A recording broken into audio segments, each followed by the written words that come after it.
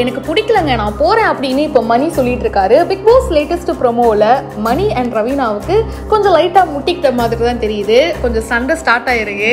நிக்சன்னால தான் அப்படின்றது மணி சொல்றாரு.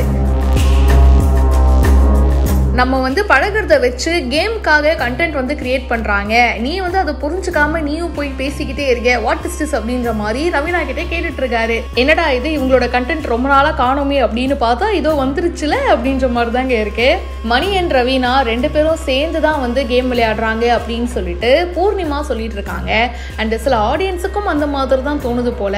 ஆனால் நேற்று மணி ஷேர் பண்ண அவருடைய வாழ்க்கையில் ரொம்ப கஷ்டமான ஒரு ஸ்டோரி அண்ட் அதுக்கப்புறமா சில டாஸ்க்குன்னு சொல்லிட்டு மணி இப்போ வந்து ஒரு தனி பிளேயராக நல்லாவே தெரிகிறாருங்க இவங்க ரெண்டு பேரோட காம்போ உடைச்சா மேபி கேம் வந்து கொஞ்சம் இன்ட்ரெஸ்டிங்காக மாறுறதுக்கு வாய்ப்பு இருக்கு. அது நடக்குதா இல்லையான்னு சொல்லிட்டு வெயிட் பண்ணி பார்க்கலாம். கேப்டன்சி டாஸ்க்ல பார்த்தீங்கன்னா விஷ்ணு நிக்சன் ஜோவிகா வந்து போட்டி போடுறாங்க. அண்ட் நாமினேஷனுக்கு தினேஷை வர வைக்கணும்னு சொல்லிட்டு பிளான் பண்ணி தினேஷை நாமினேட் பண்ணாங்க.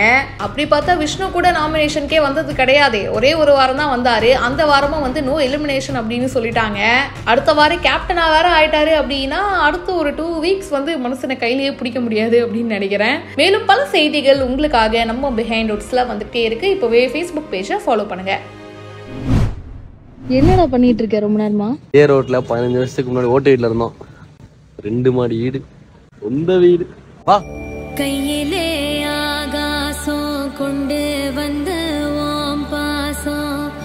காலமே போனாலும் வாழ்ந்திடு ராசா கண்ணிலே நீ